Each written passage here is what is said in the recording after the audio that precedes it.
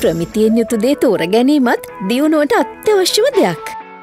විෂන්කයා විසි අසුව එක අංක එක දරණ පාර්ලිමේන්තු මැතිවරණ පනතේ හැත්ත නම්වැනි වගන්තියේ තියෙන්නේ අයිතු බලපෑම කියලා කරුණක්. අයිතු බලපෑම කියන කරුණේ තියෙන්නේ ආගමික සිද්ධස්ථානවල දේශපාලන රැස්වීම් තියන්න තහනම් කියන එකයි ආගමික උත්සවවලදී පක්ෂ අපේච්චක ප්‍රවර්ධන කටයුතු සිදු කරන්න බෑ කියන එකයි.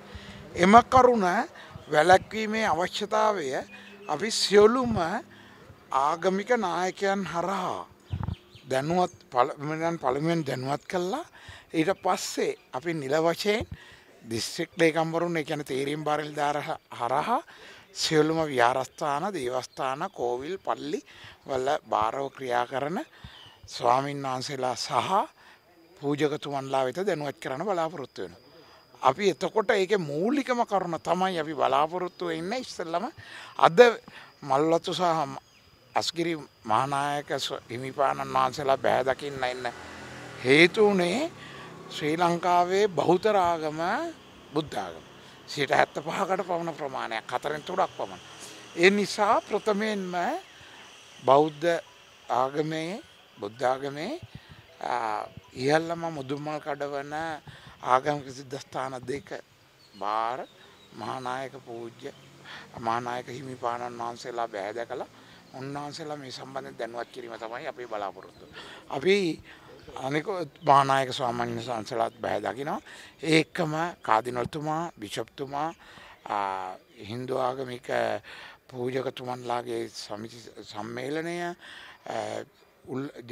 ඉහළම මට්ටමේ උළමා සභාව සියලුම දෙනා හමු වෙලා මේ සම්බන්ධයෙන් දැනුවත් කරනවා ආගමික සිද්ධස්ථානවල දේශපාලන රැස්වීම් තැබීම සහ ආගමික උත්සවවලදී දේශපාලන කටයුතුවල නිරතවීම නුසුසු බව. ඒ කියන්නේ පූජාවලදී යාඥාවලදී දේව මෙහෙයන්වලදී කිසිම ආකාරයක දේශපාලන කටයුත්තක් කරන්න එපා කියන එක.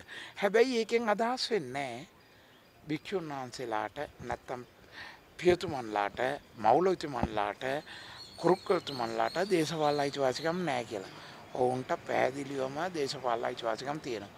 ඕන්නන් දේශපාලන රැස්වීමල කතා කරන්නත් පුළුවන්. තමන්ගේ ආගමික මහනායකමිවරුන් වහන්සේල්ලා පමණක් නොයි ඕන හැමක් ස්ථානකට ගිල්ල තමන්ගේ ප්‍රතිපත්ති ප්‍රකාශනය දක්වලා පූජා කල්ලා ලබාදීලා ආශිර්වාද ලබා ගැනීම ඒක කිසිම තානමක් නෑ. නමුත් අප ඉල්ලා සිටිනවා එම ස්ථාන තුළදී දේශපාලන කතා දැක්වෙන මාධ්‍ය සාකච්ඡා පවත්වන්න පැයි කියලා. breaking.lk